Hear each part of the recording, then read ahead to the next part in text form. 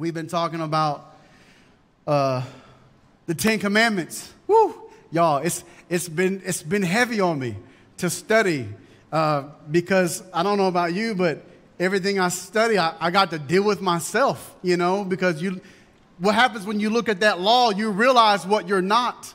Uh, and then I have the added pleasure to say, now I got to go preach this, Lord, like I'm perfect. I mean, you guys know I'm not, but, but I have to go preach it in such a way that I can preach it without the heaviness of condemnation on my soul. So when I preach to you, I want you guys to know uh, that this is for us uh, because I believe with all my heart that as we look at the Ten Commandments, the goal of seeing Jesus for who he is will become the main goal. Not, not to beat us down, not to, not to show us where we lack. We all know we lack. Nobody in here is without question. Nobody walked in floating on a carpet, you know, like, like you're some kind of deity. You're not perfect. We all understand that we're imperfect people seeking a perfect God.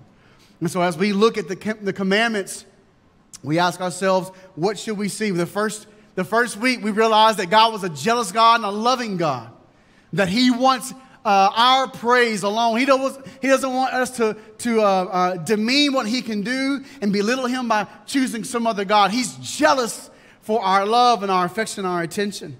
And the second commandment He spoke to us, He, he wanted us to know too that you shouldn't bow before any other God, whatever it might be. Maybe it's a God of, of idle feelings or an, an idol of low commitment and convenience um, uh, or whatever, those idols that we bow down to. He says, I don't, I don't want you to sell out. I want you to know who I am. I want you to know that I'm a faithful God and that I long to meet your need. That's why we pray. That's why we sing songs of worship that He is able to do. But this morning we are on that one, which I remember when I was a young kid. Um, I used to curse really, really, really bad. So when I was young, we would, you know, because we were young, we were trying to establish our credibility and our respect amongst our peers. And we would cuss all the time, you know. And I remember being 12 years old, walking across the church parking lot, and as soon as I hit that church parking lot, I was whipped. I was I wasn't gonna say a word.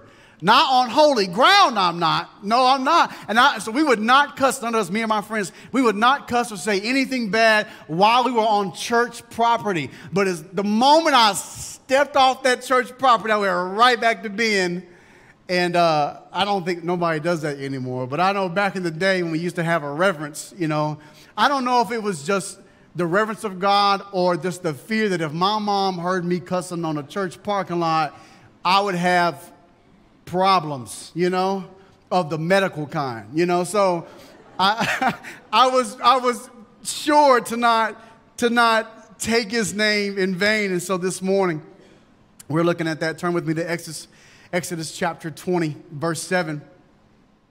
It reads, You shall not take the name of the Lord your God in vain, for the Lord will not hold him guiltless who takes his name in vain.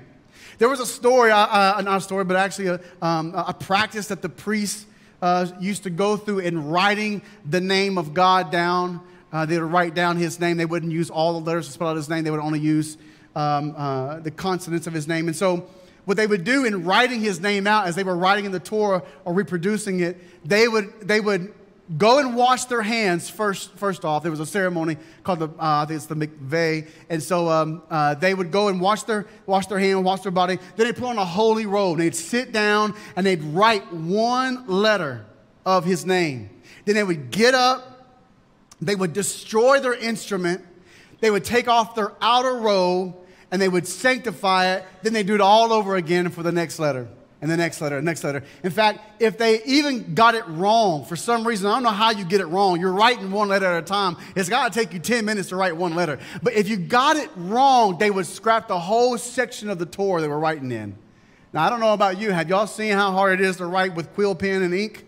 You know, like, like that backspace ain't real. You know what I mean? Like you, you really got to start all over again. And so I'd be in Control Z all day, but it would not work for me. And so I, when I see how, how, press, how precious to them and how prestigious his name was, that really challenged me. Do I look at the name of God in such a way that if, if I write it down and I get it wrong, or, or that, my, that I would destroy my pen or my computer, you know, for writing one letter of his name? I mean, that, that, that mindset really uh, tested me. In fact, let me just ask you a quick question, too. Let me see where your reverence is. When you spell the name of God, you make it with a capital G or a lowercase g? You better say capital. That's an easy one right there. But when you write the word him in reference to his name, is it a capital H or a lowercase h? you know what bothers me is that everywhere in the, in the, the Bible, when they say God, it's not, uh, they say him or he referring to God, it's lowercase. It bothers me. I'm like, how in the world do these people write this name and not know it's him? It's him. It's he. You know, like the one, capital O. And so, in fact, let me just push it. Let me see how sanctified y'all are. When you write about his joy, is it a capital J or a lowercase j? You're like, Pastor Scott, that's getting a little touchy right there. I can't be writing every letter. But the thing is, is that how much do you reference him? And, listen, you're not a bad person if you if you write those things in lowercase. Now, don't we write lowercase g on a God. We're gonna have to have a Bible study, okay? But but there's other things. If you write lowercase letters, the Lord's not concerned with what your actions. He's always looking at your heart. But I want you to know there's something special in a name. When you say Scott, you don't pronounce it. We talked about that already, right? Put my O back in your mouth, all right? Scott. It's Scott. S C O double T. You know, the next few words when you say your name, when you say my name, the next few words you're about to say has to deal with your understanding of who I am or my understanding of who you are. Think about the things that uh, you and I have talked about. All those things come to the center of what your understanding is. And so the questions you've asked me, are they not synonymous? Uh, when you say, Scott, have you da da da da? How you ask me or what you ask me pertains to three major things concerning my life, and that is my character, that is my reputation, and that is my authority or my influence. And so when you use someone's name, I want you to understand is that you are calling those things into question at the moment. What are those things in regard to this person? When I married Julie, and I said I do, and Pastor Bert married us, I said I do. When I said I do, I was, I was thinking of Julie in terms of who she's saying uh, yes to. She, I said, Will you marry Scott Brandon? And when she said yes, she was saying yes to his character, which wasn't much, and his reputation, which was not that much, and his authority, which was zero. You know, so uh, so so really, you know, I, I, am the one that benefited. She she's still having to pay for that. My mom, when my mom called my name, she said, Scott Matthew Brandon. And when she said that, don't you know, she summoned all of my reputation, all of my character, and whatever influence I had on somebody else that caused them to do wrong, it was summoned before the judge that minute. Do y'all know what I'm talking about? You had to show up for an account. Yes, ma'am. Yes, ma'am. I'm here. And I don't know what she's about to say, but I knew that all of my being was being accounted for in that moment. So when we take God's name, we use God's name, are we using it in the same understanding? Um, because that's a big thing when you talk about his authority and you talk about his, his reputation and his character, those are humongous things. If you take those three things away, who are we serving?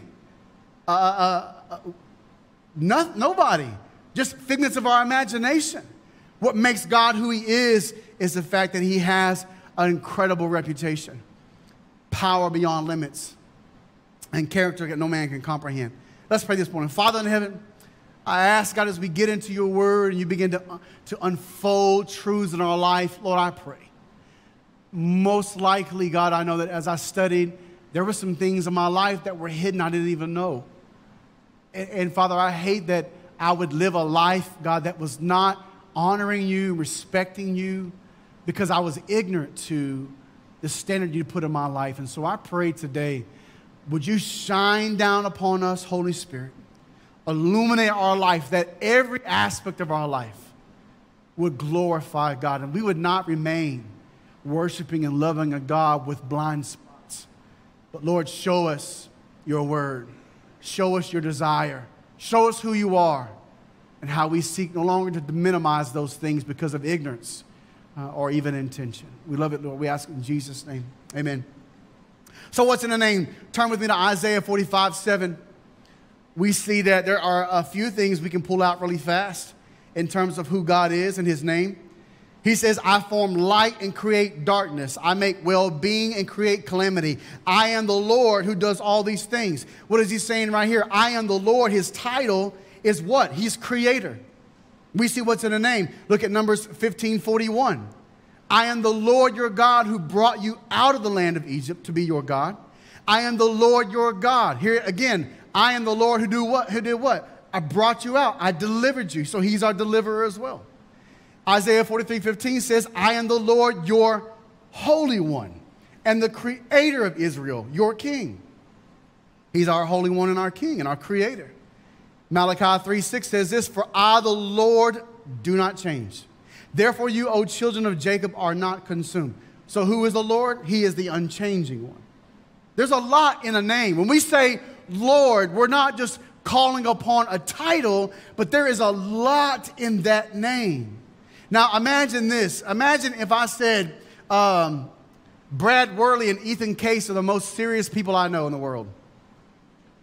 If you don't know them, you would realize, mm, I don't know if you know them, Pastor Scott, because uh, they tend to joke around a little bit. Maybe you don't know them, maybe you should get to know them. They may highlight your day. What if I said Claude Smith, Claude Smith is the epitome of selfishness? What if I said that Will Youngblood is the most effeminate man in the room?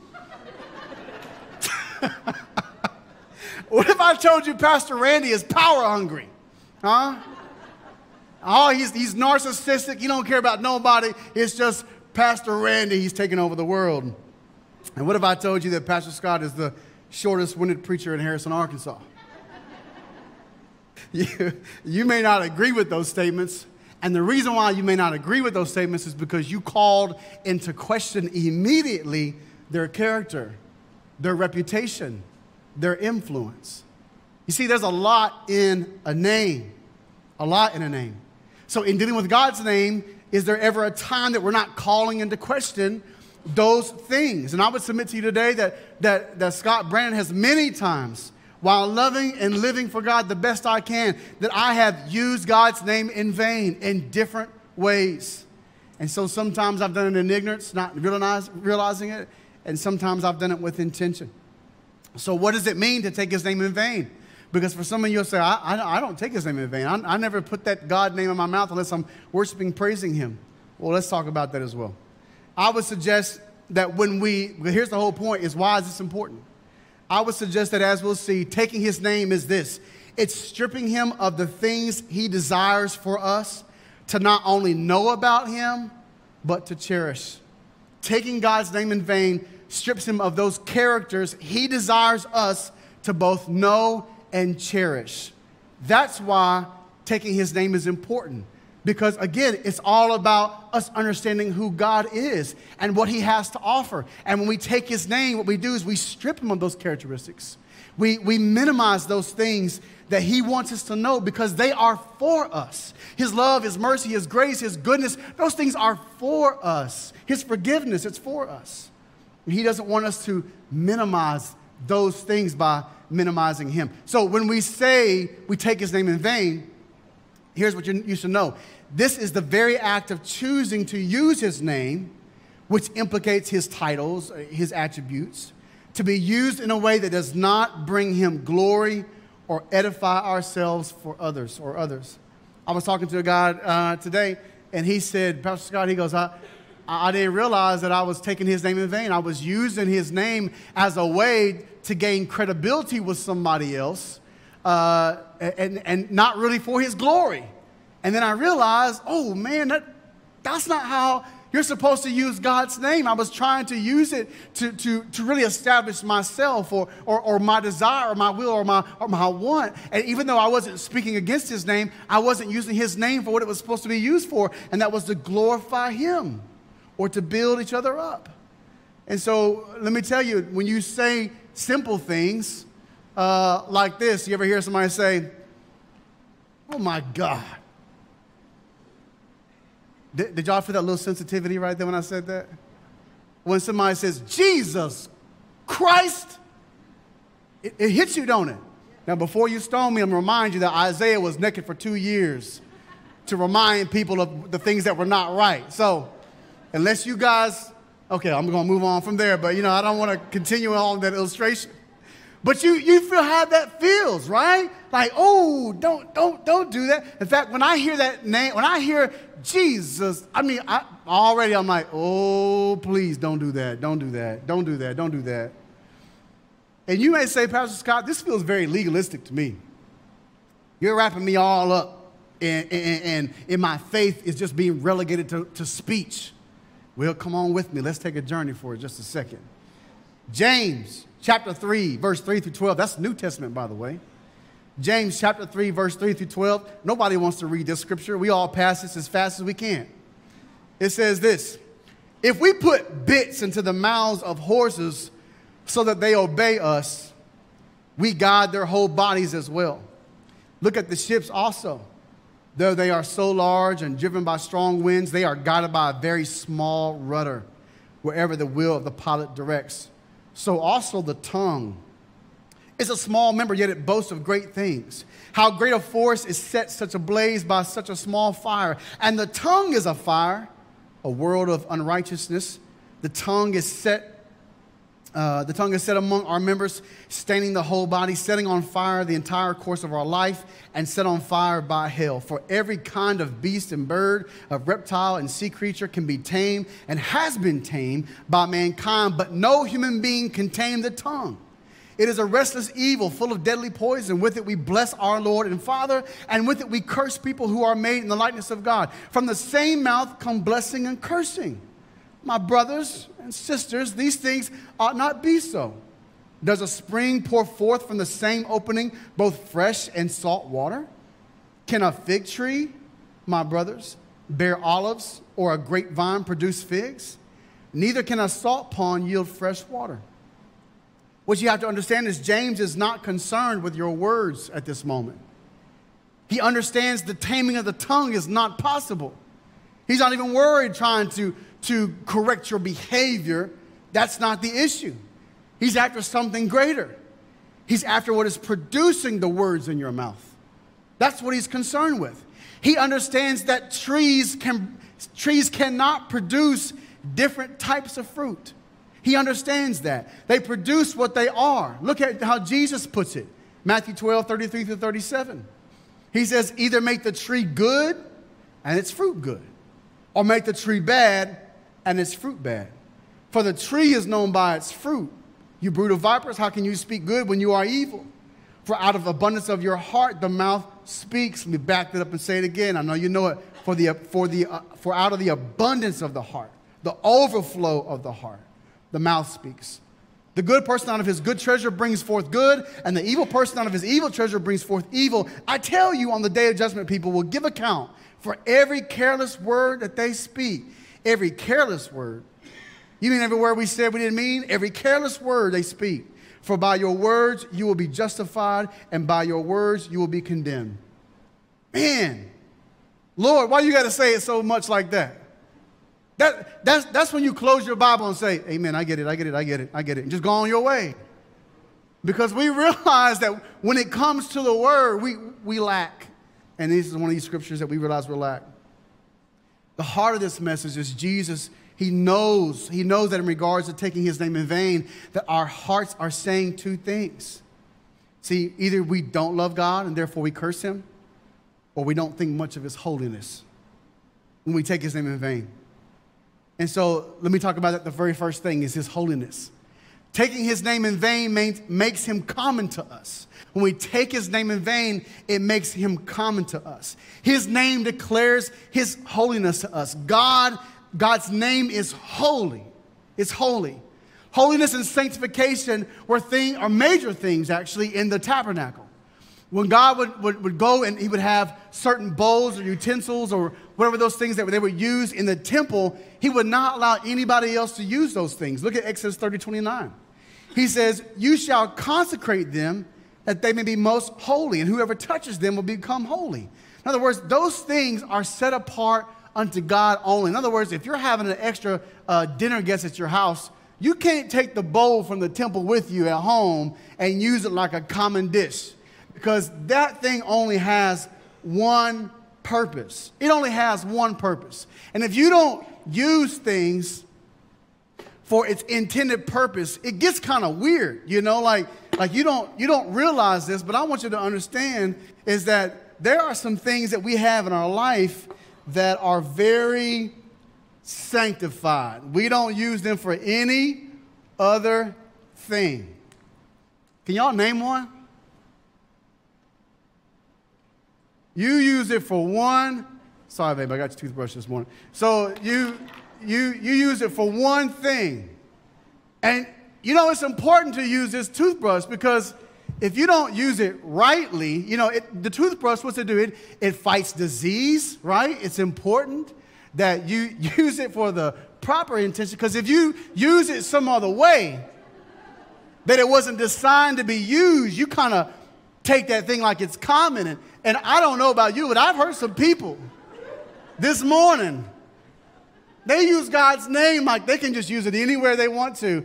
And I would tell you is that when you start to use God's name in places you, oh boy, I missed that this morning, didn't I? When you miss, when you use His name for other Hold on a second. I was in the dirt yesterday. We was working outside and oh, all right, good enough. So when you use his name in ways it's not supposed to be used, you you kind of took the holiness away from that, right? it's no longer sanctified. In fact, some of y'all saying, Pastor Scott, why would you do that? Why would you you just you just scrubbed your toenail on live stream, internet, and in front of all of us. We had to look at your foot, Pastor Scott. We did not come here for a foot show. But what I want you to know is that it's not entirely horrible until Julie goes back home and she uses this toothbrush.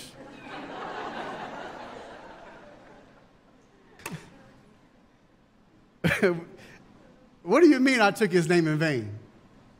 What do you mean I took what was holy and set apart for one thing only and I used it in other ways? What do you mean I took away from his holiness? Well, in vain means to take worthlessly. You treat it like it has no worth, no value. In other words, you, you took what was holy and set apart and you made it common. And we do this in His name. And then we expect to go and pray and say, God, heal, God, deliver, God, do these. And we, all the whole time, we just, we just brush brushing. We just brush brushing. Lord, I want you to heal. Lord, I want you to save. And the Lord's like, Do you think that I'm going to come down with this instrument that is unholy? Just because you call my name holy doesn't mean it's holy in your mouth when you, when you took it out of its proper place and used it to express your unbelief. Oh my God.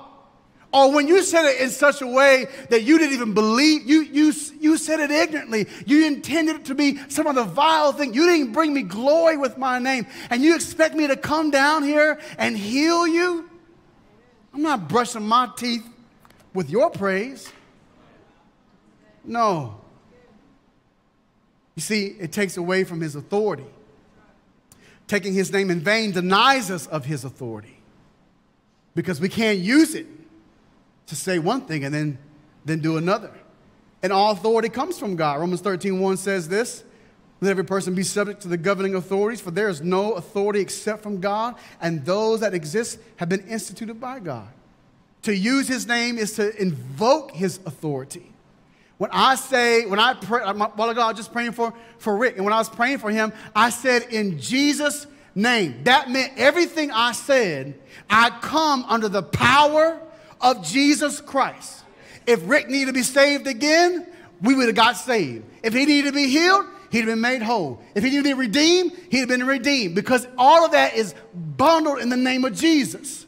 There's no other name. I can't call on Buddha, Vishnu, or Allah. None of those names mean anything. But when I say Jesus, that's why when you hear the name Jesus on TV, you go, hmm.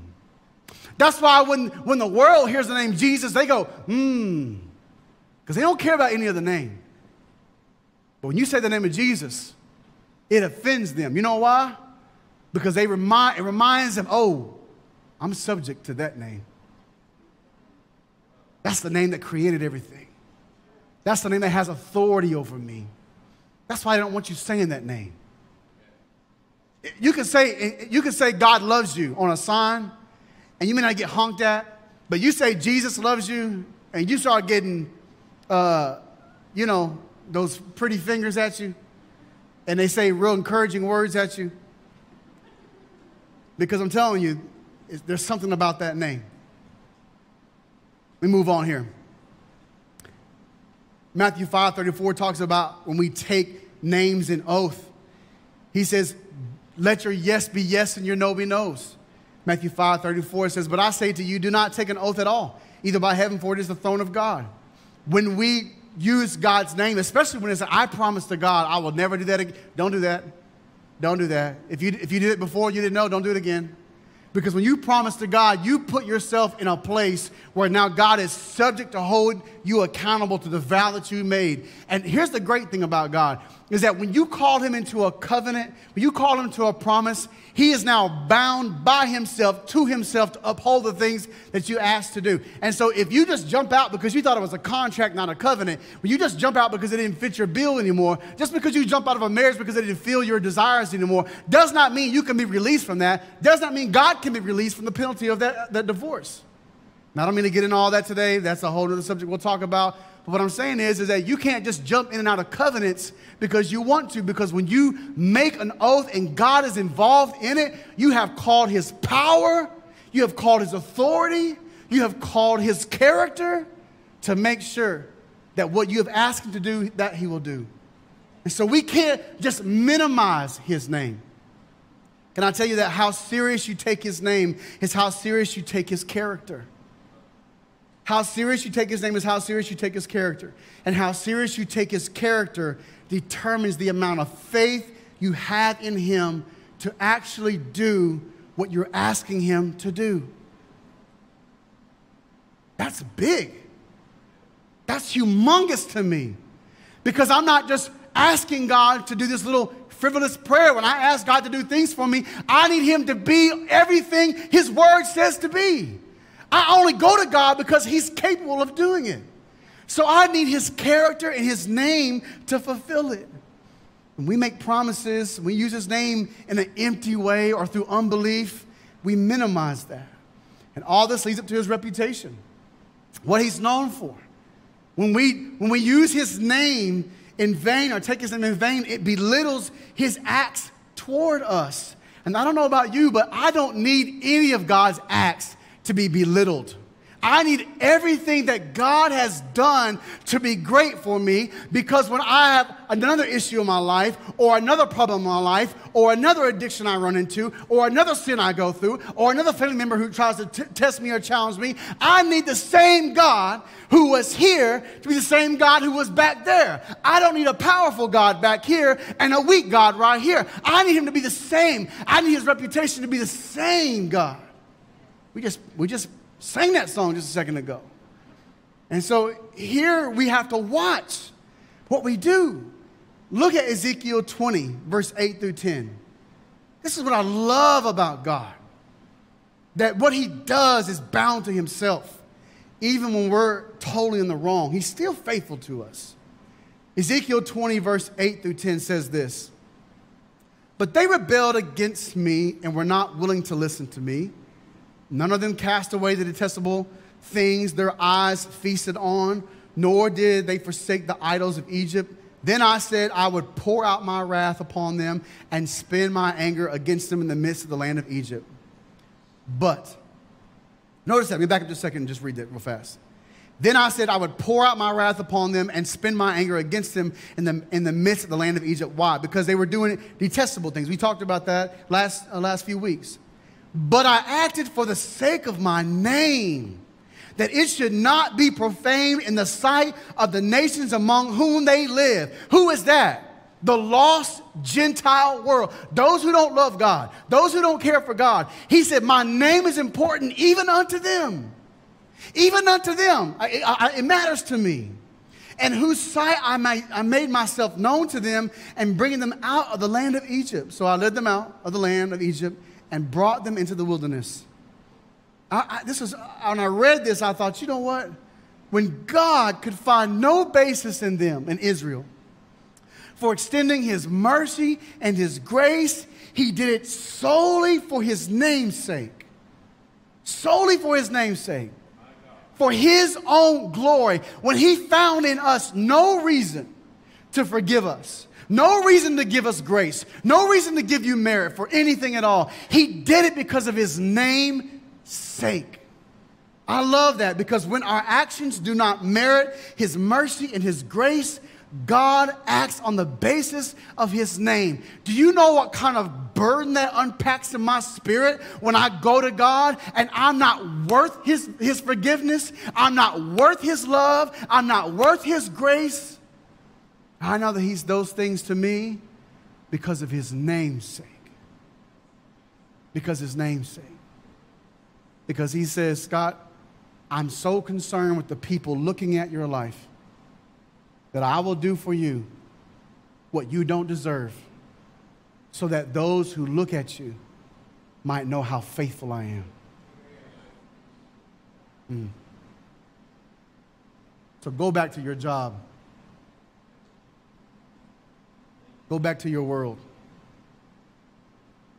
Go back to your cancer. Go back to those things that would cause us to suffer and pray, God, bring an audience to my life. Bring an audience to my life. Because when you do this, I need you to get every bit of the glory that comes out of it. I don't mind suffering. I don't mind going through it but don't let it be in vain. Don't let your name and the glory of your name be in vain. Act, O oh God, on the holiness and the glory of your name. For his name speaks of his faithfulness to others through us. His faithfulness speaks of the glory found in his name. But we often profane his name. We mix it like this toothbrush you know, you know the great thing about this toothbrush is that we'll go buy another one. you know, it's real easy. Well, I misused it. I'll just throw that away. You won't use that no more. But how do you do that with the reputation of God? How do you just go buy another one? How do you do that with yourself? You can't. And so here we see that God's reputation is paramount to us, it's huge to us. We cannot profane it by making something that is priceless to become worthless. For us to take his name in vain is to make little of his past actions. Can I tell you the time he forgave you or answered your prayers when you don't deserve it, or the time he saved your life when he called you on his name, the time he hung on a cross for your sins? We cannot belittle those things. And when we take God's name in vain, we're making those actions to be nothing, to be little. You see, his, using his name belittles our own salvation. That he's not a great God now. So, what makes him a great God back then? It strips him of it. And so, here, my heart, my heart today is simply this: is that we walk and we act in such a way to know that God desires us to know what healing is. He desires to, to, for us to know what authority is. He desires for us to know what redemption is, what salvation is, what hope that comes to fruition actually is. He wants us to see the hand. We got to honor his heart. We got to honor his name. That's why this third commandment is so important because we, when we don't honor his name, we rob our very selves. We take from ourselves. And before we say, Pastor Scott, that's not really, I don't really struggle with those. I don't really struggle. I don't say those words, they don't come out of my mouth. I, I, I really feel like I'm walking clean. Praise God. I'm glad that you are. Can I just raise the standard for you today?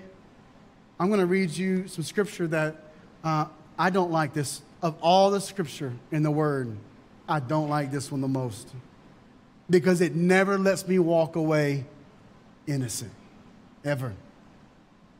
Join me in Romans chapter 1, verse 32.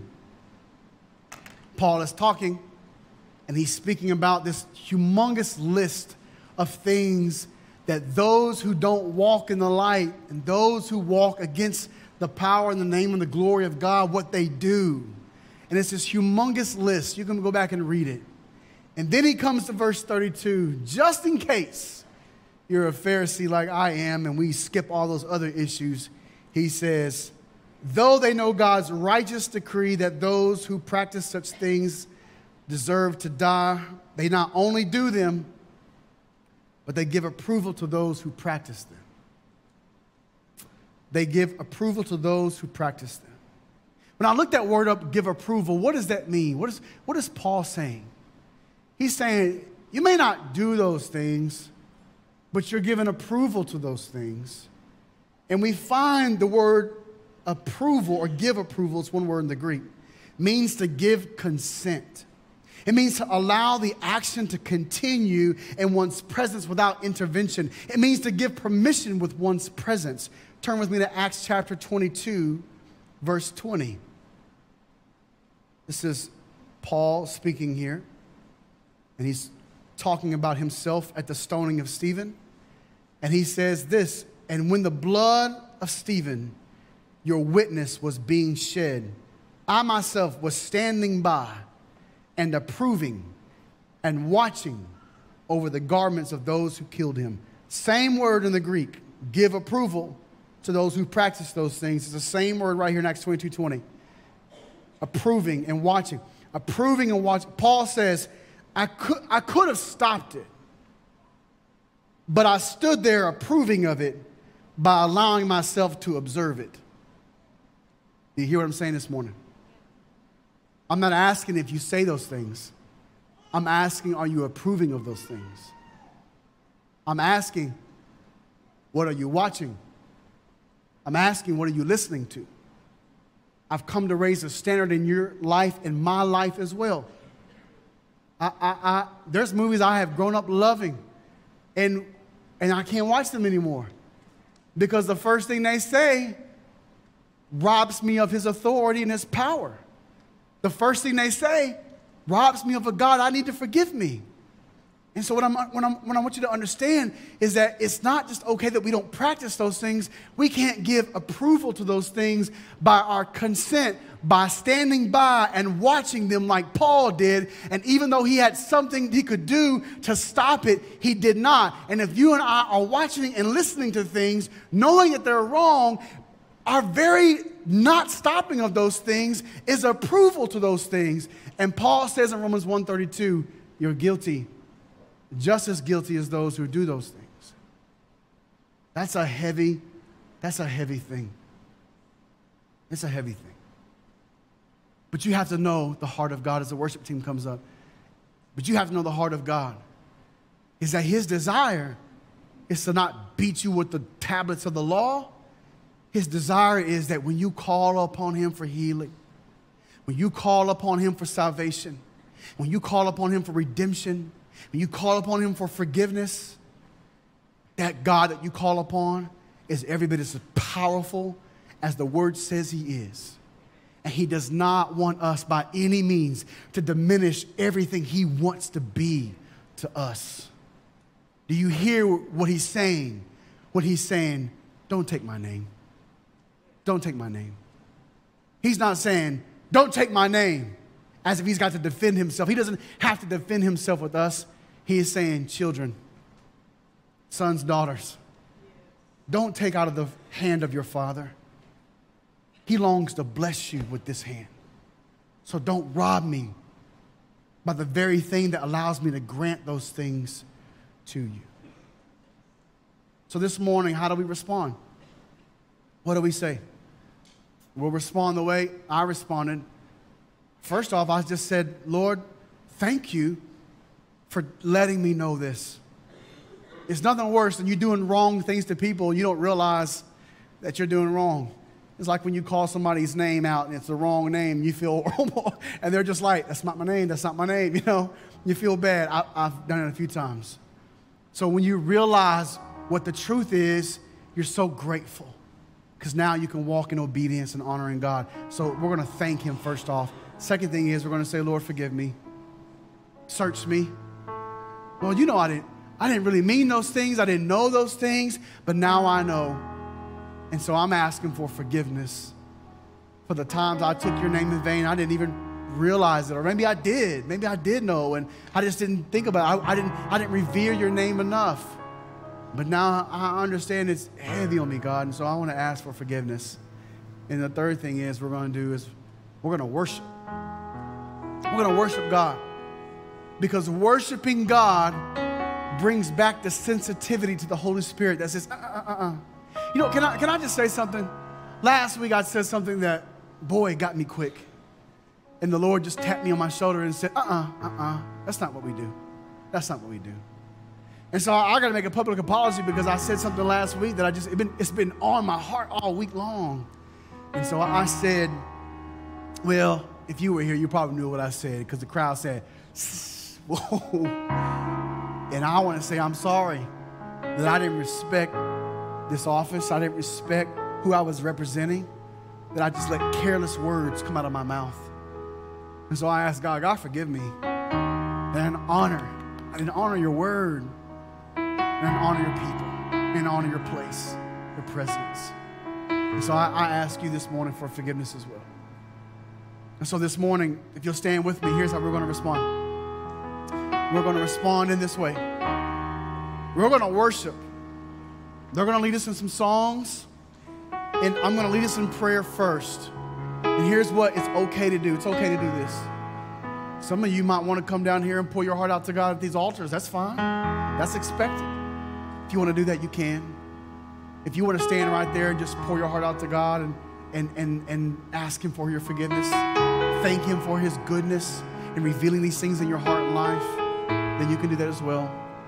But listen, make sure you worship that we need a sensitivity that we're not carelessly using his name in vain, and then we're frustrated that when we call on his name, why he doesn't answer. Will you pray with me, Father in heaven? So many times,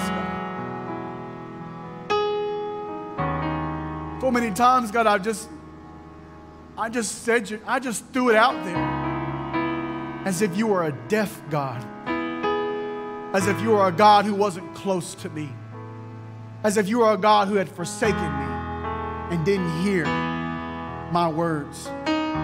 Oh God, you hear my every word, in my every pain, in my every moment of frustration, God. You hear my every word. You are a God who is near. I pray, God, today, you forgive me, forgive us Thank you, Lord, for allowing your word to, to cut away the issues of our life, God, the cut away, God, the excess in our life that's not healthy to us. These things may not be damning, God. It may not be something that causes us to go to hell. But God, I know one thing. They sure don't help us understand you. They sure don't help us to know you. And so, God, would you take our hearts, those who have spoken, God, with ill intent, and those of us, God, who have spoken ignorantly and not treated the name of God as a holy thing. Forgive us, God. Forgive us. We want to be a church that when we pray, you answer.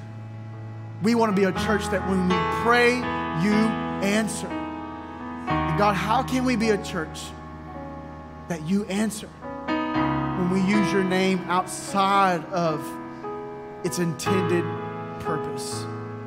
And so, Father, forgive us. And as we worship, Lord, I pray, as we worship, I ask, oh humbly God, that you would sensitize our hearts again, that you would call back into our lives the sensitivity of knowing your voice, hearing the Holy Spirit say, uh uh-uh, uh, don't do that. Oh, I pray, God, make us sensitive once again to your name. In Jesus' name we pray.